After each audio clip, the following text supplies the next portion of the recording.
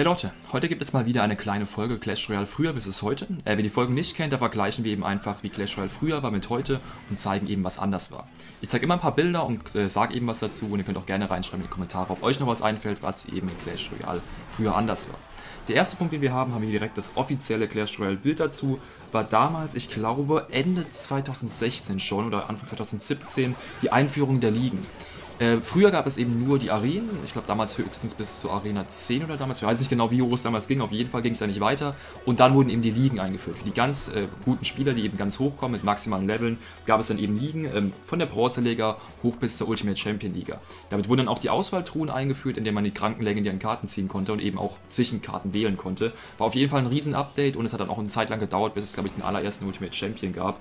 Ähm, hat auf jeden Fall einiges gebracht und hat es eben vor allem für die oberen Spieler deutlich unterhaltsamer gemacht, weil man wenn man eben 2000 Trophäen über eine Arena drüber ist, ist es halt nicht mehr so besonders spannend und deswegen wurden eben damals die Ligen eingeführt und ich muss echt sagen, ich vermisse halt auch da in die Richtung mal wieder ein neues, größeres Update, dass man da vielleicht mal wieder was dran ändert, weil inzwischen gibt es, glaube ich, jetzt schon ungefähr eineinhalb Jahre und ich finde, man könnte eigentlich mal wieder, wieder ja, irgendwas dran ändern.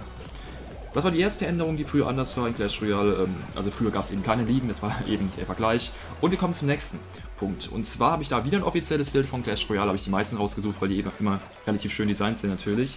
Und in dem Fall ist es ein Bild zu der Einführung des Eisgeist und des Bowlers. Das war eine sehr, sehr großes, ähm, große Änderung damals. Früher wurden immer in Viererpacks neue Karten released. Also es wurden immer vier auf einmal angekündigt und dann kam immer alle zwei Wochen eine neue Karte raus, was auch einen Riesenhype natürlich fürs Spiel gebracht hat.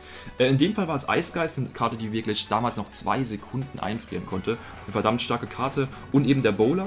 Und dazu wurden auch noch ähm, eben zwei weitere legendäre Karten angekündigt. Welche das waren, weiß ich nicht. Ich glaube, es waren Mega-Ritter und Nachttexte sogar, glaube ich. Also auch nochmal verdammt wichtige legendäre Karten. Auf jeden Fall war es eine riesige Ankündigung damals und da zu dem Zeitpunkt gab es eben noch keinen Bowler oder ähm, eben den Eisgeist und es werden eben noch zwei weitere kranke legendäre Karten eingeführt. Damit komme ich schon zum dritten Bild. Insgesamt habe ich mich jetzt entschieden, ich nehme normalerweise immer eher kürzere Videos ähm, auf. Das sind dann immer fünf Bilder, ich denke, das passt ungefähr. Und in dem Fall bezieht es sich auf das Design des Feuerballs. Wir sehen hier das alte Design vom Feuerball. Ich weiß gar nicht, wie lange es im Spiel war. Also ich selber spiele äh, das Spiel gab es in Deutschland, glaube ich, seit März 2016. Seitdem spiele ich auch selber. Ich weiß gar nicht, ob es ein Spiel war oder ähm, vielleicht erst in der anfänglichen Version, bevor es eben verfügbar war. Auf jeden Fall sah der Feuerball, finde ich, damals auch relativ ungewöhnlich aus. Er war vor allem relativ unscharf und er sah ziemlich echt eigentlich aus, also gar nicht so cartoonmäßig, wie es eben für Clash Royale passt. Und wenn wir jetzt eben mit dem heutigen Feuerball vergleichen, finde ich, passt er schon um einiges besser. Ich finde, er ist auch einfach besser getroffen, sieht einfach ansprechender aus und eben auch die Ränder mit dem roten statt dem grauen Rand sind auf jeden Fall deutlich besser gelungen heute, finde ich zumindest. Dann kommen wir zum nächsten Punkt und das ist auch der interessanteste Punkt. Ich denke mal, ich habe es auch am ehesten auf Thumbnail draufgepackt. Das habe ich auch noch selber erlebt. Und zwar war, ich weiß gar nicht wie lange es war, vielleicht nur ein, zwei Monate oder nur ein paar Wochen. Auf jeden Fall am Anfang musste man tatsächlich, wenn man kämpfen wollte in der Arena, Gold dafür zahlen. Ich weiß nicht, warum die es eingeführt haben. Wahrscheinlich, dass man Warum haben sie es eigentlich eingeführt? Ich weiß es nicht. Auf jeden Fall wurde es wieder relativ schnell abgeschafft. Ich habe es auch noch erlebt. Ihr könnt euch vorstellen, es war relativ nervig. Wenn ihr mal einen Kampf machen wollt und dann habt ihr, also ganz am Anfang zumindest bei mir gewesen, dann habt ihr kein Gold gehabt. Es ist auch ganz schwierig, Gold zu kriegen, nämlich am Anfang. Und dann habt ihr kein Gold fürs Kämpfen gehabt und dann konntet ihr einfach nichts machen. Es gab damals noch keine Challenges, ihr habt kein Gold gehabt. Sprich, ihr könnt nichts machen, außer eben Gold kaufen natürlich. Vielleicht war es auch dafür gedacht.